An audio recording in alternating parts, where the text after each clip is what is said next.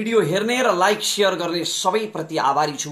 आज पनि एउटा अत्यन्तै संवेदनशील विषयमा केही विचार राख्न तपाईँ समक्ष आइपुगेको छु। आशा छ उत्कृष्ट लागेको खण्डमा तपाईँले अवश्य पनि लाइक कमेन्ट र सेयर गर्नु नै हुनेछ।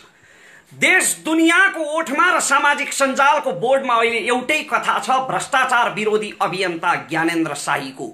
जो तथ्य र तथ्याङ्क बिना कहिल्यै बोल्दैनन् र सधैँ भ्रष्टाचार विरुद्ध आफ्नो आवाज बुलन्द गरिरहन्छन् आज उनी यातना भोगेर आर्तनाद उत्पीडन भोगेर अस्पतालमा थन्किएका छन् र सारा देश स्तब्ध छ। केही मित्रहरूले कमेन्टमा लेख्नु पनि भएछ कि रमेश ज्ञानेन्द्र साईको प्रसङ्गमा किन बोल्दैन। पक्कै पनि यो डरायो नत्र अचानक किन हरायो? शत प्रतिशत गलत। मैले जिन्दगीमा जानेको र मानेको सत्य वचन मात्र हो र सम्झना रहोस्। साझा पार्टीको बोर्ड हटाइएको बेला र अभियन्ताहरू धमाधम पक्राउ परेर जेलतिर पठाइएको बेला मोदीको विरोधमा बोल्ने आँट गरेको हुँ मैले। यसको साक्षी तपाईँ सबै हुनुहुन्छ। म न डराएको हो न मेरो मुटु थर्केको हो मैले केवल तथ्य सूचना मात्र पर्खेको हो किनकि दाल भात तरकारी चलाउनकै निम्ति तथ्यलाई बङ्ग्याएर लेख्ने र सत्य छेक्ने युट्युबरहरूको केही औँलामा गनिने बाहेक अधिकांश युट्युबरहरूको समाचारप्रति विश्वास छैन मलाई। आज सिधा कुराले यो विषय जब उठायो तब तथ्य सूचना त आयो तर आधा सत्य मात्र आयो जसको विषयमा धेरै कुराहरू शङ्कास्पद छन्। तिनको चर्चा अलि पछि गरौँला। सबैभन्दा पहिले ज्ञानेन्द्र शाहीले पत्रकारहरूको विषयमा दिएको अभिव्यक्तिको विषयमा पत्रकार महासङ्घलाई ससम्मान एउटा प्रश्न गर्न चाहन्छु। उनले के अभिव्यक्ति दिए त्यो म जान्दिनँ र उनले गलत अभिव्यक्ति दिएका छन् भने उनलाई बचाउनुपर्छ हात जोडेर समर्थन गर्नुपर्छ भन्न खोजेको पनि होइन।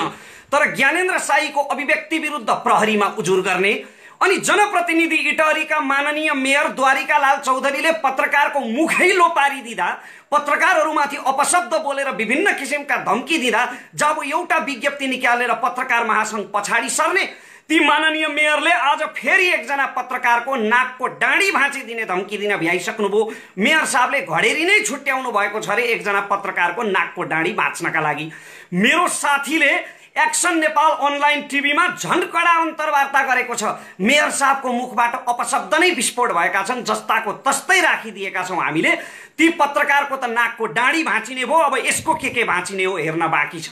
अनि जनप्रतिनिधिले पत्रकार विरुद्ध यस्तो अपशब्द र दुर्व्यवहारको प्रयोग गर्दा पत्रकार महासङ्घ पछाडि सर्ने अनि ज्ञानेन्द्र शाहीलाई उजुर गर्ने। खैर अब ज्ञानेन्द्र शाहीको प्रसङ्गमा चर्चा गरौँ। यो प्रसङ्गको सम्बन्धमा केही विषयहरू अत्यन्तै शङ्कास्पद छन् र राष्ट्रभक्त प्रहरीप्रति उच्च सम्मान व्यक्त गर्दै केही प्रश्नहरू राख्न चाहन्छु आफ्नो र आफ्ना शुभचिन्तकहरूको तर्फबाट।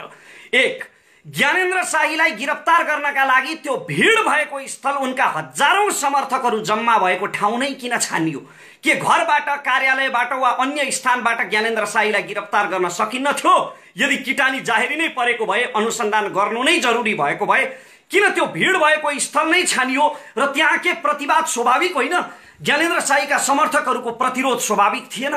अर्को प्रश्न यदि ज्ञानेन्द्र शाहीलाई यातना दिएकै होइन भने प्रहरीले ज्ञानेन्द्र शाहीलाई यातना दिएकै होइन भने हातै नलाइकन बात लागेको हो भने एउटा सत्य तथ्य छानबिन गर्ने निष्पक्ष समिति बनाउन प्रहरीलाई र सरकारलाई केले छेकेको? इज्जतको डरले कि केस सल्टाउने रहरले?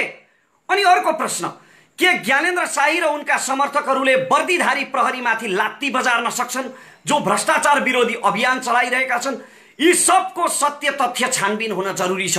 यदि जनताको रक्षाका लागि उठ्नुपर्ने पन्जाहरूको पाँसुलीको बल एकजना नागरिक अभियन्तामाथि प्रयोग भएको हो भने तुरुन्त तिनीहरूको पहिचान गरेर तिनीहरूलाई प्रहरी सेवाबाट हटाउन जरुरी छ र तिनको दाना पानी कटाउन जरुरी छ। तर यदि प्रहरीमाथि आरोप लागेको हो भने त्यसको पनि सत्य तथ्य जनतासम्म आउन जरुरी छ।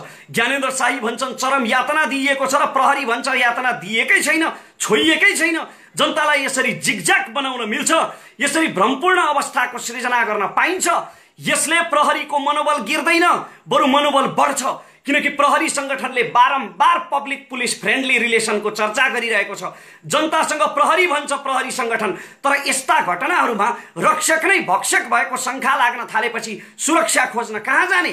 यदि यो घटनाको छानबिन हुने हो र सत्य तथ्य बाहिर आउने हो भने जनताको त्यो शङ्का हट्छ र यसले प्रहरीको मनोबल झनै धेरै बढ्छ। त्यसैले यो घटनाको सत्य तथ्य आउन जरुरी छ। लाखौँ मानिसहरूले भनिरहेका छन् यति बेला कि ज्ञानेन्द्र शाही सही छन्। र धेरै नेपालीहरूलाई ज्ञानेन्द्र साईमाथि विश्वास छ। त्यसकारण सही मान्छेलाई छानबिनले केही फरक पर्दैन। प्रहरी भन्छ छोएकै छैन। त्यसकारण प्रहरीलाई पनि अनुसन्धानले केही फरक पर्नुपर्ने कारण देखिँदैन। म तत्कालै काठमाडौँ आउने थिएँ। ज्ञानेन्द्र शाहीलाई भेट्नका निम्ति अत्यन्त स्तब्ध बनाएको थियो। उनको विषयमा छापिएका लेखिएका समाचारहरूले तर तत्काल काठमाडौँ आउने औकात नपुगेर हो। म चाँडै नै जोगाड गरेर खर्च पानी जुटाएर यथाशक्य चाँडो ज्ञानेन्द्र साईलाई काठमाडौँ भेट्न आउँदैछु र सिधा कुरा जनतासँगले पनि यो विषय उठाइसकेको छ। मलाई विश्वास छ अब सिधा कुरा जनतासँगको टिम सुर्खेत पुग्नेछ। प्रहरी प्रवक्ताले चुनौती दिएका छन् तपाईँ सुर्खेत पुगेर फलोअप गर्नुहोस् भनेर सिधा कुराको टिमले अब सुर्खेत पुगेर फलोअप गर्नेछ। र यो केसको यो मुद्दाको सत्य तथ्य उजागर गर्नेछ। अन्त्यमा म सम्पूर्ण मेरा शुभचिन्तकहरूलाई देश विदेशमा रहेका सम्पूर्ण नेपालीहरूलाई म नआत्तिन अनुरोध गर्छु। किनकि नेपाली पत्रकारितामा अब आधुनिक पत्रकारिता सुरु भइसकेको छ। सिधा कुरा जनतासँगको सुरुवातसँगै। त्यसकारण यसको सत्य तथ्य अवश्य बाहिर आउनेछ र ज्ञानेन्द्र साईलाई न्याय मिल्नेछ। म ज्ञानेन्द्र साईको शीघ्र स्वास्थ्य लाभको र न्यायको कामना गर्न चाहन्छु। अनि अन्तिममा जाँदा जाँदै पत्रकार महासङ्घलाई ससम्मान फेरि एउटा प्रश्न दोहोऱ्याउन चाहन्छु। ज्ञानेन्द्र शाहीलाई उजुर गरे जस्तै पत्रकार विरुद्ध अपशब्द बोल्ने दुर्व्यवहार गर्ने नाकको डाँडी भाँच्ने अङ्गभङ्ग गर्ने सम्म धम्की दिने। इटहरीका माननीय मेयर द्वारिका लाल चौधरीज्यूलाई पनि कुनै कानुनी उपचार खोज्न उजुर गर्न मिल्छ कि?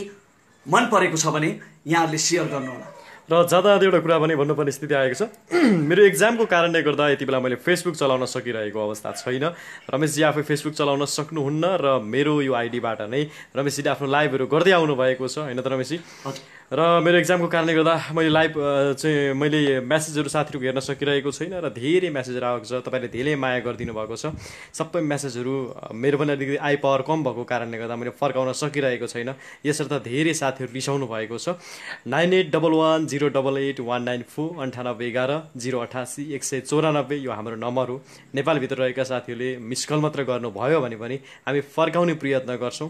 फेसबुकमा बोलेन भनेर नरिसाउनु होला। हामीलाई लेख्न गाह्रो हुन्छ। आज मैले वास्तविक सत्य भनेको छु र रमेश प्रसादजीसँग धेरै मान्छेहरूले गुनासो गर्नुहुन्छ। मसँग पनि गुनासो के गर्नुभएको छ भने रमेशजीले मेरो फ्रेन्ड रिक्वेस्ट एक्सेप्ट नै गर्नु भएन मेरो म्यासेज नै हेर्नु भएन भन्नुभएको छ।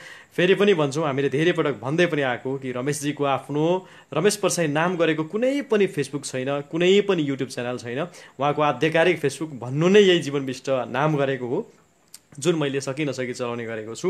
तपाईँले लाइक सेयर गरिदिनु भएको छ। तपाईँलाई धेरै धेरै धन्यवाद र रमेशजीको जति पनि आइडीहरू बनेका छन् ती चाहिँ फेक हुने त्यसमा कुनै सत्यता छैन। तपाईँ रमेशजीसँग नरिसाउनु होला मैले साथीको तर्फबाट। यति भनिदिएँ। त्यही छ रमेशजी?